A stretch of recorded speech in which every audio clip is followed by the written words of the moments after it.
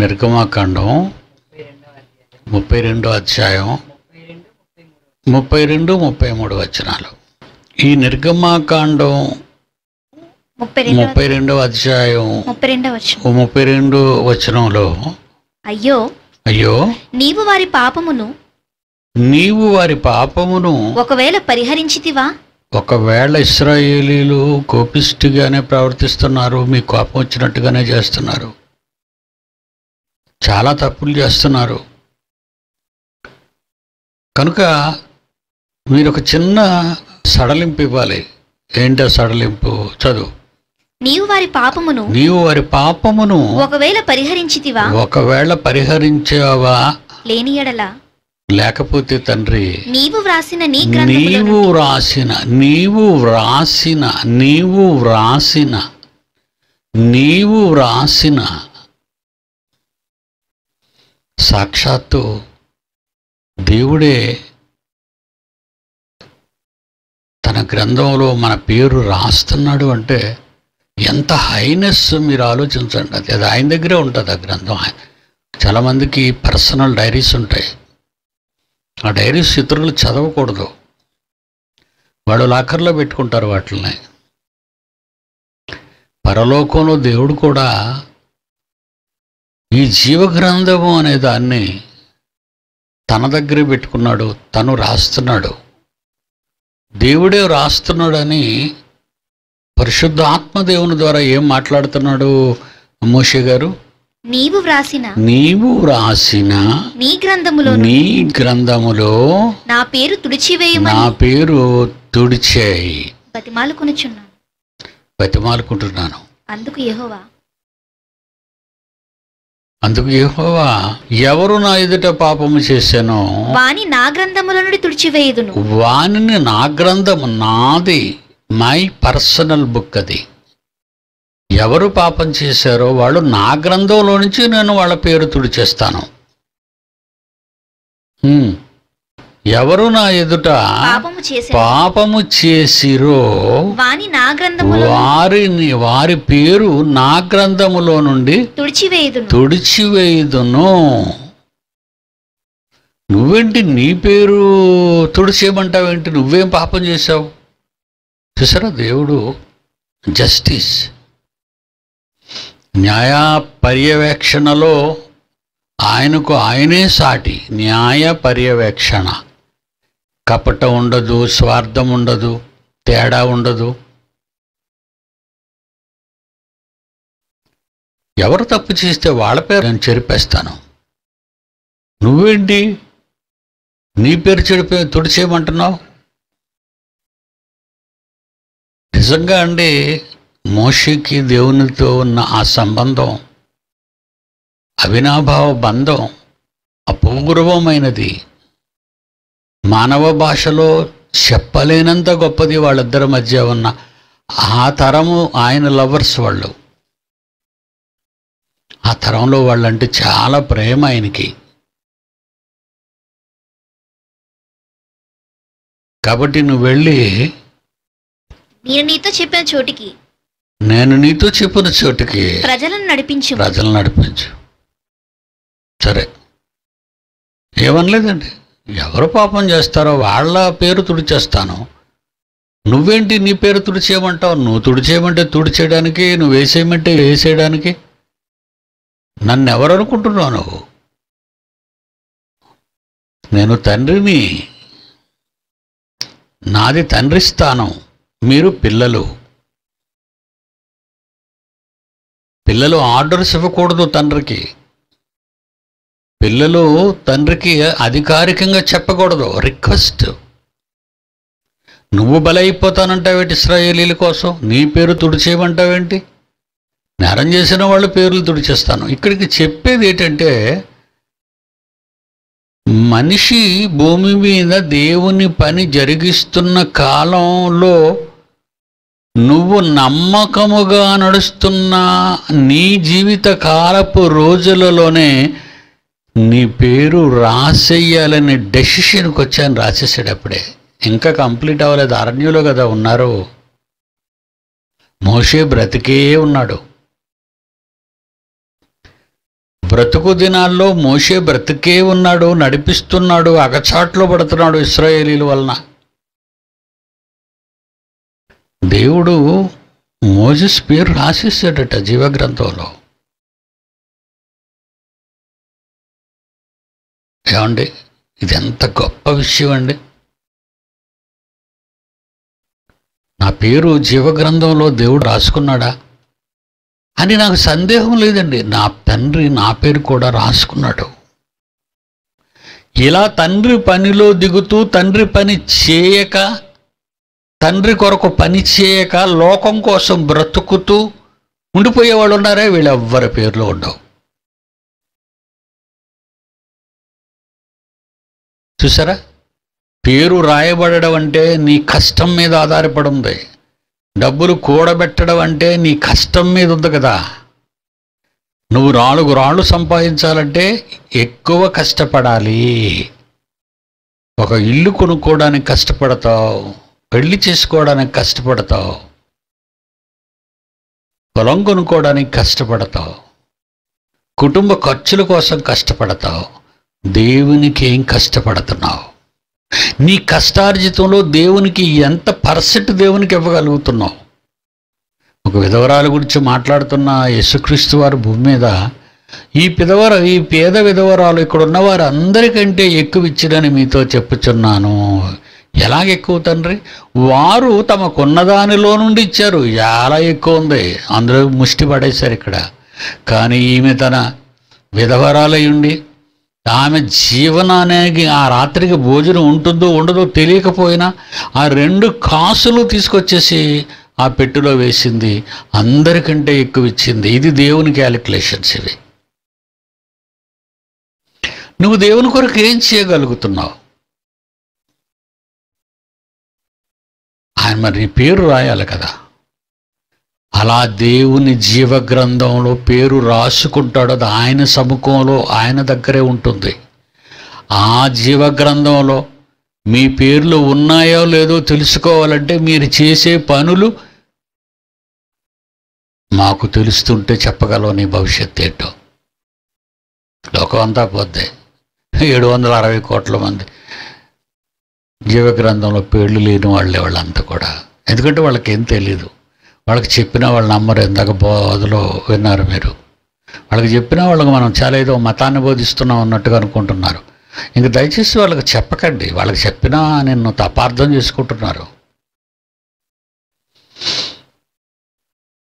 అలాంటి పేరు రాయబడిన వాడు ఆ యోసేపు తరంలో యాకోబు తరంలో ఆయన కొడుకుల తరంలో యాకోబు తర్వాత ఆ కోవకు చెందినవాడు యోసేపు. కష్టాలు అనుభవించాడు. కుటుంబం వలన తోడబుట్టిన వాళ్ళ వలన. అమ్మి వేయబడ్డాడు. అపనందలు వేయబడ్డాడు. జైలుకు వెళ్ళాడు. కానీ ఈరోజు ఆయన స్థితి దేవుని సంకల్పంలో నాలుగు వందల ముప్పై ఏళ్ళు ఈజిప్షియన్స్ ప్రొటెక్షన్లో ఉండాలి. ఇస్రాయేలీలు అక్కడే డెవలప్ అవుతారు. ఎంతమంది వచ్చారు? ఈజిప్ట్కి వచ్చేటప్పటికి యోసేపు కాలానికి యాకోబుకి యాకోబుతో కూడా ఎంతమంది వచ్చారు ఈజిప్ట్ దేశానికి? ఏడు సంవత్సరాల కరువు కాలం. బ్రతికుండాలి ఆకలి చావులు ప్రపంచం అంతా ఆకలి చావులు వచ్చాయి ఇప్పుడులాగే కరోనా వలన. ఎంతమంది వచ్చారమ్మా? డెబ్బై మంది వచ్చారు. లక్షల మంది అయిపోయారు after four hundred thirty years. నాలుగు వందల ముప్పై ఏళ్ళు ఈ బానిసరికపు కాలంలో లక్షల మీద వచ్చారు. ఇకపోతే ఈజిప్షియన్స్ ఈ నాలుగు వందల ఇరవై ఐదు ఇరవై ఆరు ఇరవై ఏడు ఇరవై ఎనిమిది ఇరవై తొమ్మిది ముప్పై ఈ మధ్య ఈ కాలంలో ఏం ఆలోచించడం మొదలుపెట్టారు? అమ్మో ఇస్రాయేలీలో బలోపేతం అయిపోతున్నారు. ఎక్కువ మంది పిల్లలు పుడుతున్నారు వాళ్ళకి. ఈజిప్షియన్స్ కంటే ఇజ్రాయేలైట్స్ ఎక్కువైపోయారు. ఇస్రాయేలీలు ఎక్కువైపోయారు. రేపు పొద్దున్న మన దేశాన్ని లాక్కుంటారు వాళ్ళు అని. అప్పుడున్న ఫరోకు తప్పుడు ఆలోచనలను తప్పుడు సలహాలను ఇచ్చినటువంటి రాజకీయ నాయకుల మాటలను బట్టి మోషే పుట్టేటప్పటికి మోషేని సంహరించటానికి ఆ కుట్ర పన్నింది అపవాది ఆ రోజు. చాలామంది మగపిల్లలు చచ్చిపోయారు ఆ రోజు.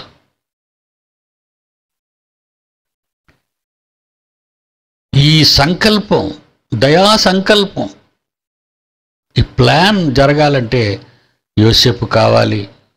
పాలస్తీనా నుంచి ఆ డెబ్భై మంది యాకోబు కుటుంబీకులు రావాలి. నాలుగు వందల ముప్పై ఏళ్ళు దేవుని గురించి వాళ్ళు అక్కడ ఉండాలి.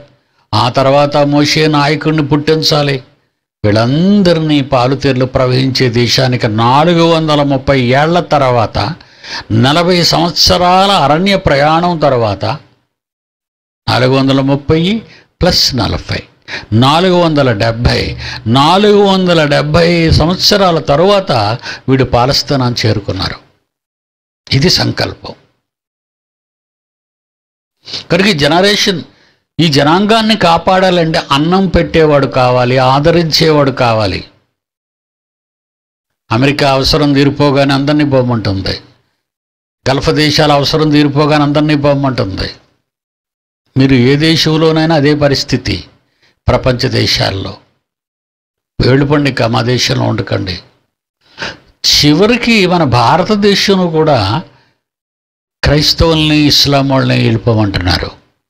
అందులో మనం పుట్టిన ఈ దేశం ఇది ఇంకా దారుణంగా మారిపోయారు వీళ్ళు. వీళ్ళు ఏవో పగలు పెట్టుకున్నారు. ఈ రాజకీయంలో వచ్చిన పగలు దేశానికి వచ్చిన స్వాతంత్ర సమర రంగంలో జరిగిన కొన్ని కుట్రలు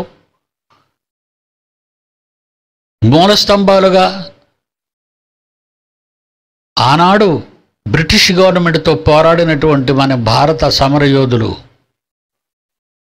జైళ్ళకి వెళ్ళారు చంపబడ్డారు కొట్టబడ్డారు. ఆ కుట్రలో ఏం జరిగిందో? తర్వాత పుట్టిన మనం స్వాతంత్ర్యం తర్వాత పుట్టిన నేను మైసెల్ఫ్ నైన్టీన్ ఫార్టీ నైన్ పంతొమ్మిది వందల నలభై ఏడు స్వాతంత్ర్యం వచ్చింది. రెండేళ్ళ తర్వాత పుట్టాను. వాడు రాసిన పుస్తకాలలోనే చదువుకున్నామే తప్ప వాళ్ళు ఏమి జరిగిందో అది రాశారు. హై స్కూలు పాఠాల్లో కూడా పెట్టారు. మృగంగా బ్రతక్కు. అలాంటి దేవుని దయాపూర్వక సంకల్పాన్ని నెరవేర్చడానికే యోసేపు ఆ తరంలో పుట్టాడు. అది ఆయన చరిత్ర. అప్పటి నుంచి నాలుగు వందల ముప్పై ఏళ్ళు చరిత్ర ఈజిప్ట్లో ఉంది వాళ్ళకి. చారిత్రాత్మకమైన ఆధారాలతో చూపిస్తున్నాను మీకు. నలభై సంవత్సరాల అరణ్య ప్రయాణం కలిపితే నాలుగు వందల డెబ్బై ఏళ్ళు. నాలుగు వందల డెబ్బై ఏళ్ళకు ముందు డెబ్బై మంది వెళ్ళిన ఇస్రాయేలీలు. నాలుగు వందల డెబ్బై ఏళ్ళ తర్వాత లక్షల మందిగా వచ్చారు. దేవుడు వాగ్దానం చేసిన పాలుతేరులు ప్రవహించు పాలస్తీనా దేశానికి. ఇందులో ఒక మోషే ఇందులో ఒక హోషి ఇందులో ఒక యహోశివ ఎందరో ఉన్నారు కారణ జన్ములు దేవుని గ్రంథములో రాయబడిన వారు. అందులో ఒకడు యోసెప్పు దేవుడు ఆయన విధానం. లక్షల మంది ఇస్రాయేలీని పెంచవలసిన బాధ్యత ఈజిప్టు దేశపు భుజస్కంధాల మీద వెయ్యాలనుకున్నాడు దేవుడు. బానిసలుగానైనా బ్రతకాలనుకున్నారు ఆనాడు ఇస్రాయేలీలు. ఆకలి చావులు లే వాళ్ళకి. ఈరోజు మన భారతదేశంలో ఆకలి చావులు. భారతీయులంతా ఆయా రాష్ట్రాల నుంచి పెద్ద పెద్ద పట్టణాలకు వెళ్ళి నడుచుకుంటూ ఆకలితో కిలోమీటర్లు వేల కిలోమీటర్లు నడుచుకొని వెళ్ళారు. జాలేస్తుంది వాళ్ళని చూస్తుంటే. మన దేశంలో ఆకలి సేవలు ఉన్నాయి కట్టు బానిసలుగా మా యజమానులు వాడుకున్నారే తప్ప వాళ్ళు పనిచేసి కూలి కూడా చేతికి ఇవ్వకుండా బయటకు తగిలేశారు లాక్డౌన్లో. నూట ముప్పై ఐదు కోట్ల మంది భారతీయులు కన్నీరు దేవునికి వినబడదా? కనబడదా? దేవునికి చేరుతుంది. అందుకే కరోనా పెరుగుతుంది. మీకు అది తెలీదు. మీకేమీ తెలీదు. డాక్టర్ ఏమో దేవుడు నీకు. ఎందుకు భారతావనిలో పెరిగిపోతుంది కరోనా? నీ మనసు మారనంత వరకు మనిషి తన మృగత్వాన్ని వదులుకొని క్యారెక్టర్ ఒక మానవత్వం ఉన్న మనిషిగా మారాలి నూట ముప్పై ఐదు కోట్ల మంది భారతీయుల్లో ప్రతి భారతీయుడు. వాళ్ళండి దేవుళ్ళు అవుతారు దోచుకునేవాడు దోచుకుంటూనే ఉన్నాడు. చంపేవాడు చంపుతూనే ఉన్నాడు. పాడు చేసేవాడు పాడు చేసేవాడుగానే ఉంటున్నాడు. No change. In human characters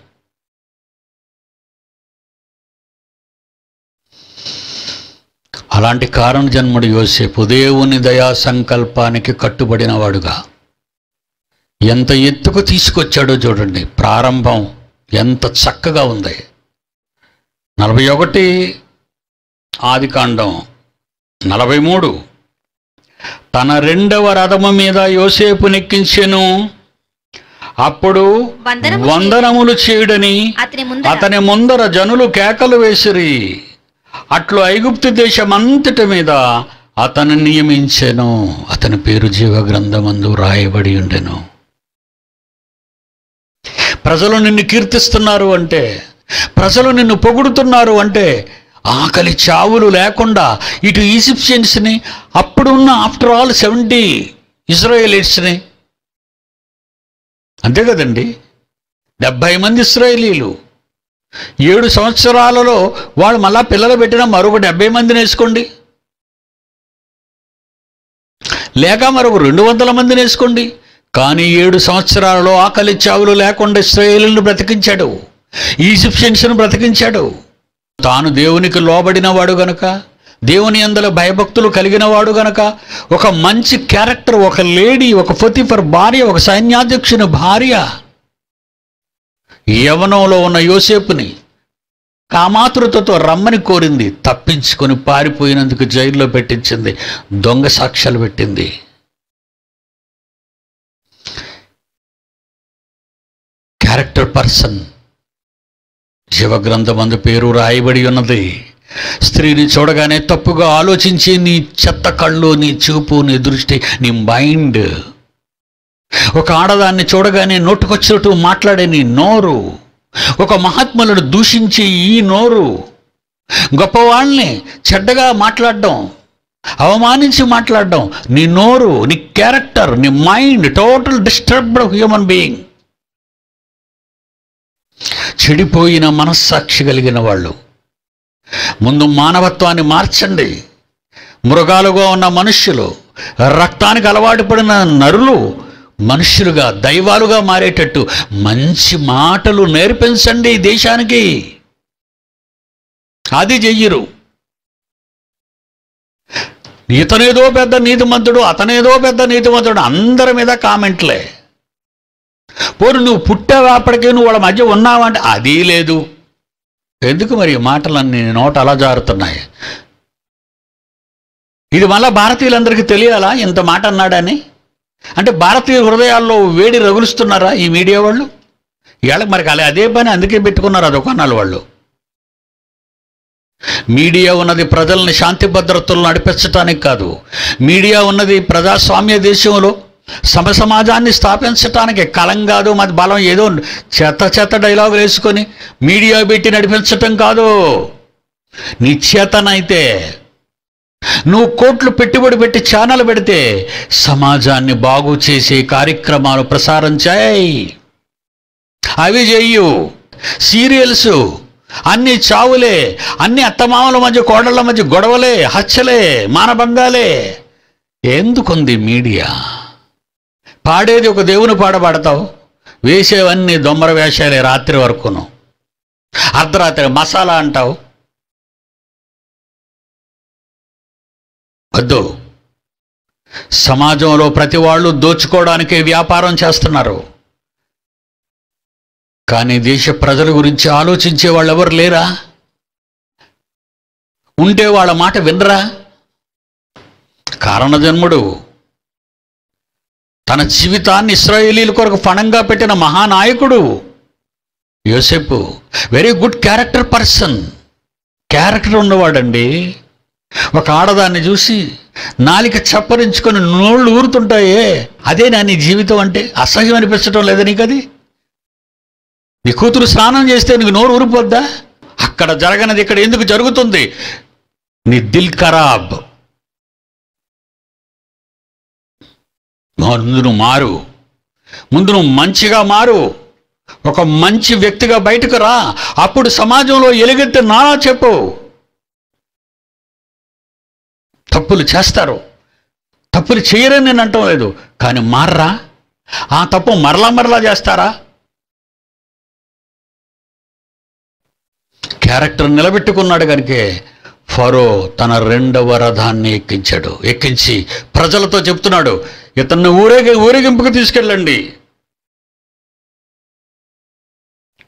అప్పుడు వందనము చేయడని అతని ముందర జనులు కేకలు వేసిరి. అట్లా ఐగుప్తు దేశం అంతటి మీద అతను నియమించాను. ఉత్తముడిగా ఎదుగుదల ఉత్తమ పౌరుడిగా ఎదుగుదల ఉత్తమ జ్ఞానిగా ఎదుగుదల దేవునికి ఇష్టడైన ఆయన జీవగ్రంథమందు వ్రాయబడిన కుమారుడుగా ఎదుగుదల. That is the character God bless you